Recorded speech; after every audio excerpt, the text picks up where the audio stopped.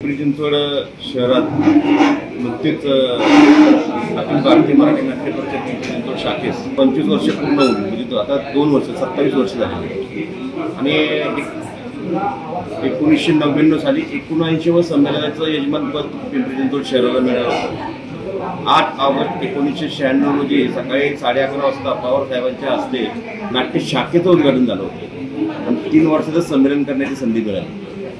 आणि आम्ही वाट पाहत होतो. मी नंतर आमची कसं माणसाच्या आयुष्यामध्ये कोणती ना कोणती प्रगती होत असते. त्याच पद्धतीने आमची देखील कला क्षेत्रामध्ये प्रगती होऊन मी नियामक मंडळावर गेली दहा वर्ष काम करीत आहे. त्यामुळे तिथं संमेलन कुठे घ्यायचं या नियोजनामध्ये मी असतो. पण माझं एक स- सद शंभराव्या संमेलनाचे अनेक जण महाराष्ट्र वाट पाहत होतं. आणि एकोणीसशे दोन हजार एकोणीस साली नव्याण्णवं संमेलन झाल्यानंतर त्याची शंभरावं संमेलनाची त्या क्षणापासून सुरुवात झाली होती. पण आपला आपल्याला कल्पना आहे आहे आपल्याला की लॉकडाऊनच्या माध्यमातून संपूर्ण जगाला हादरून सोडणारा कालखंड तो होता. अनेक दिग्गज कलावंतांना देखील आपलं आपलं आपण गमावले त्या कालखंडामध्ये. आणि तो जो कालखंड आहे तो चार पाच वर्षाच्या नंतर निवडणुका झाल्या. आणि नटराजाच्या आशीर्वादाने म्हणा किंवा मोरा सोयीच्या पुण्यानं म्हणा परत आम्ही तिथं निवडून आलो. आणि या संमेलनाची परत माझं एक स्वप्न पूर्ण होण्याच्या मार्गाला सुरुवात झाली.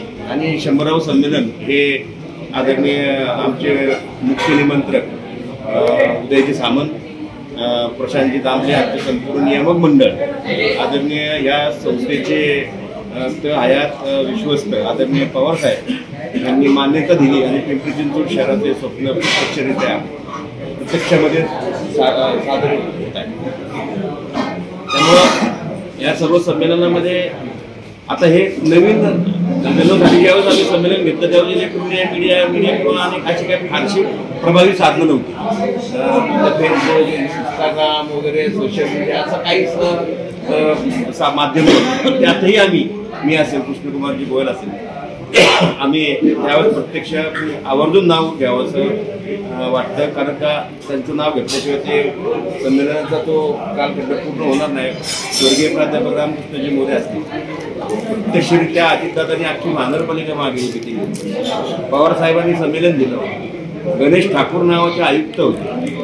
त्यांचं फार मोठं योगदान आमच्या संमेलनामध्ये होतं. अशी काही लोक होती. त्यामुळे तो आम्हाला त्यानंतर मग हायटेक जे म्हणतो आजच्या कालखंडाला जो अभिप्रेत असलेला शब्द आहे हायटेक तो आता प्रचलित झालेला आहे. त्याची प्रचिती आम्हाला पण आलेली आहे आजच्या काळात. आम्ही त्याचाही योग्यरित्या वापर करून हे संमेलन खऱ्या अर्थानं जागतिक पातळीवर कसे शंभरावं संमेलनाची चर्चा होईल अशा पद्धतीने अशा माध्यमातून आमची काय संकल्पना कार्यकर्त्यांसाठी हे बघा ह्या पहिल्यांदा संमेलनामध्ये आपण बालनगरी साधित करतो बालनाट्याचा वेगळंच करतो त्याच्यामध्ये व्यावसायिक बालनाट्यापासून स्थानिक पातळीवर आमची त्याची मार्जिन फेरी घेऊन ते गॅदरिंग पण नाही वाटलं पाहिजे संमेलन. आहे ते उगाच आपलं सहभाग घ्यायचा आणि सहभाग दाखवायचा म्हणून नाही. त्यासाठी आम्ही वर्षभर कार्यरत असतो.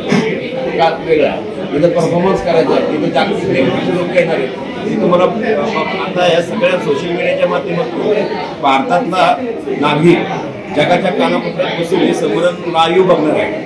त्या त्याचा दर्जा तो त्याच पद्धतीचा असायला आपण त्या पद्धतीनं प्रयत्न करणार आहोत? चौसष्ट कलांचा समावेश.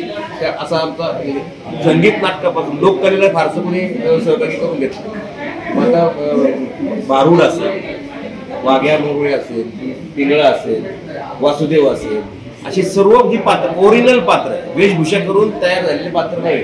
त्यासाठी आमचा माणूस महाराष्ट्रातून फिरतोय. धनगर समाजाचा तो असेल. कोळीचा डान्स असेल. दशावतारामधला कोकणातला काय कोणता भाग असेल? झाडापट्टीतला नागपूरमधला कोणता भाग असेल? असे अनेक जे प्र- जे माहिती नाहीत आपल्याला ज्ञात नाही अशा सर्व लोकांना आम्ही या ठिकाणी दाखवण्याचा प्रयत्न करतो.